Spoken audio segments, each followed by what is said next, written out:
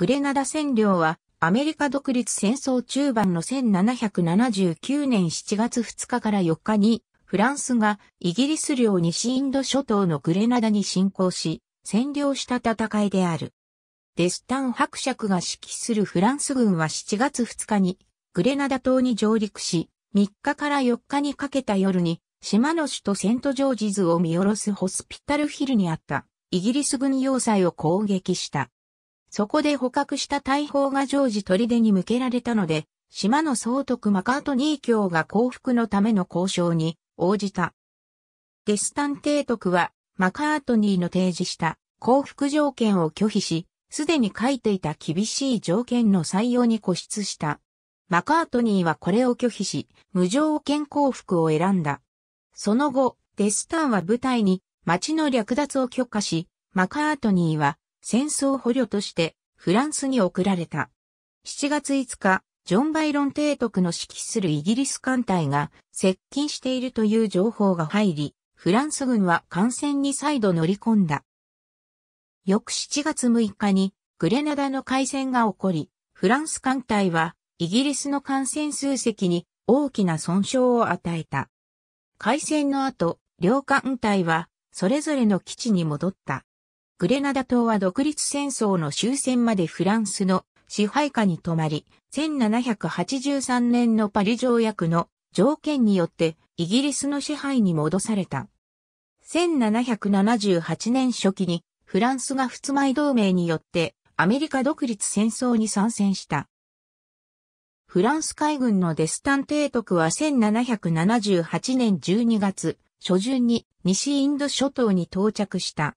その艦隊は12艦の戦列艦に多くの小艦艇が組み合わされていた。これと同じ頃、イギリスのウィリアム・ホザム提督が指揮する艦隊もカリブ海に到着しており、サミュエル・バーリントン提督指揮下の西インド諸島艦隊を補強した。イギリス艦隊は続いて、フランスが保持していたセントルシアを占領した。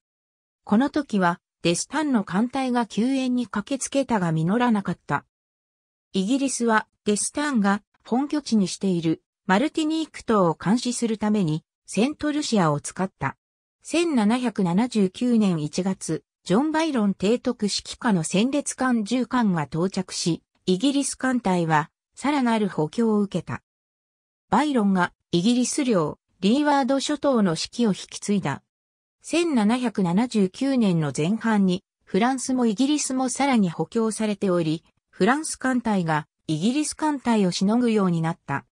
これに加えて、セントキッツ島に集結していたイギリス商船の船団をヨーロッパまで護送するために、バイロンが6月6日にセントルシアを離れたので、デスタンは自由に行動できるようになった。デスタンとマルティニーク総督のドブイエ公爵はこのチャンスを捉えて、近くにあるイギリス領の島々への一連の作戦を開始した。その最初の標的がセントルシア島のすぐ南にあるセントヴィンセント島であり、これを6月18日に占領した。続いて、イギリスの重要な拠点であるバルバドス諸島の占領を考えたが、この時点では東寄りの貿易風が吹いていたために進むことができず、その代わりに矛先をグレナダに向けた。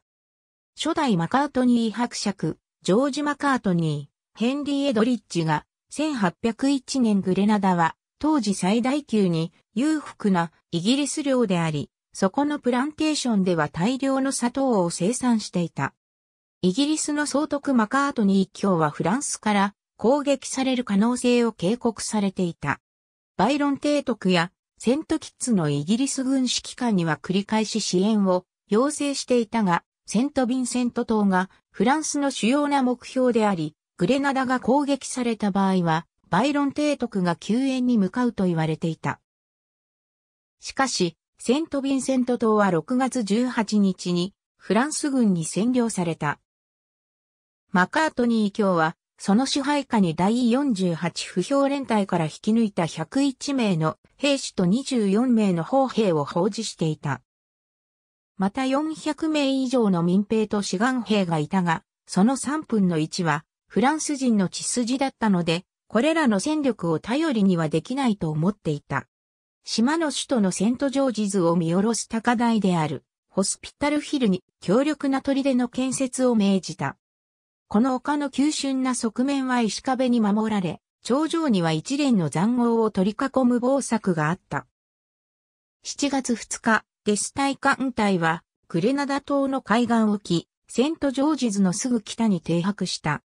その日にデスタンが上陸させた陸戦部隊は、アイルランドディロン連隊の1400名と、シャンペーン、フォア、オーゼロは、エーノールト各連隊からの700名だった。フランス軍が到着したので、マカートニー卿はその部隊にホスピタルヒルの砦の中に退くよう命じた。7月3日、デスタンはイギリス軍の配置を偵察して過ごした。バイロン提督の艦隊が何時現れるかが心配だったので、ホスピタルヒルへの攻撃開始を決断した。まずは交渉の旗を送って、マカートニーに降伏を要求したが、マカートニーはこれを拒んだ。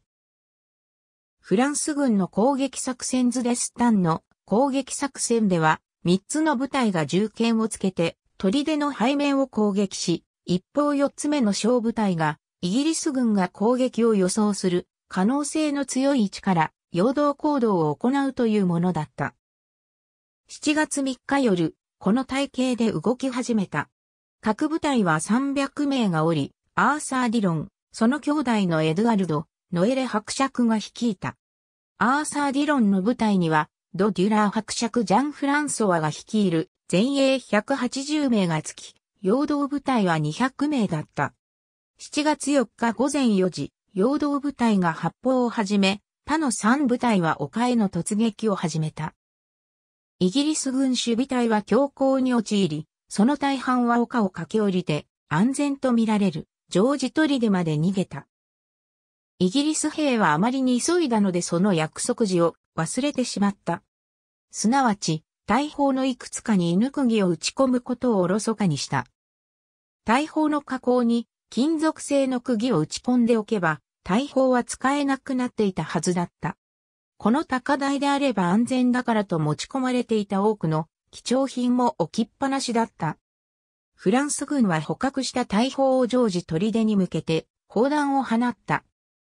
マカートニーは事態が絶望的であることを認識し、白旗を上げさせた。フランス軍は約700名を捕虜にし、そのための損失は戦死36名、負傷71名としていた。しかし、イギリス軍の報告書では、フランス軍の損失が300名に近いと報告していた。フランスは港に停泊していた商船30隻も戦利品として捕獲した。デスタン提督はマカートニー教の降伏条件を拒否。マカートニーはデスタンの提案する条件が単に前例がなく屈辱を与えるものであるだけでなく降伏した者たちの財産とともに命まで奪いかねない口実を与えるような性質と程度と目的で罠にかけ不確かなものであると判断した。マカートニーの諮問委員会も全会一致でフランス軍の提案する降伏条件の拒絶を決め、その代わりに無条件降伏を選んだ。その結果としてデスタンは部隊兵にセントジョージズの町の略奪を許した。この時持ち去られたり破壊されたものの中には、マカートニー教の銀器や食器、その衣類の大半、さらに個人文書までが含まれていた。個人文書はマカートニー総督にとってとりわけ厳しい打撃となった。それら文書の写しは安全のために妻がセントルシアに持って行ったが、火事で焼けてしまった。デスタン提督がマカートニー総督を食事に招いたとき、その時着ていた上着が唯一残されたものだと言って、ミナリのことを弁解した。マカートニーや、その他グレナダの指導者たちは、仮釈放を拒んだので、戦争捕虜としてフランスに送られた。デスタント、その成功を称賛するフランスの政治マンが、バイロン提督は7月1日にセント・ヴィンセント島が占領されたことを知らされ、さらにグレナダが攻撃されたのを知った時は、セント・ヴィンセント島を取り返しに行くところだった。即座にグレナダに進路を変え、7月6日朝に到着した。デスタンは7月5日にバイロンの意図するところを知らされ、兵士を上艦させ、6日の午前4時に怒りを上げた。両艦隊は、グレナダ島沖で交戦し、デスタン艦隊が、バイロンの艦隊の統率されていない攻撃をしのいだ。その後しばらくの間、西インド諸島の海域では、大きな戦闘がなく、デスタンは北に向かって、9月にイギリスの支配するジョージア州サバンナを囲んだが、包囲戦は失敗した。グラナダを占領し、バイロン艦隊を破ったデスタンの成功によって、本国で多くの人気を博した。劇作家かつ役者のピエール・ジャーマン・パリソーが占領の様子を再現するブニ、ビディ、ビシ、ウーラ・プリズ・ド・グラナダと題する戯曲を書いた。デスタンがこの人気作を見ることはなかったが、アメリカのジョン・ポール・ジョーンズがパリを訪れた時に感激した。フランスはグレナダを占領している間に、リッチモンドヒルに一連の砦建設を始めた。自軍の言ったような攻撃に対抗して守るために、大砲は海よりも陸の方を向いておかれた。この防御施設は1783年以降にイギリス軍によって完成された。グレナダ島とセント・ヴィンセント島はアメリカ独立戦争の終戦までフランスの支配下に止まり、1783年のパリ条約の条件によってイギリスの支配に戻された。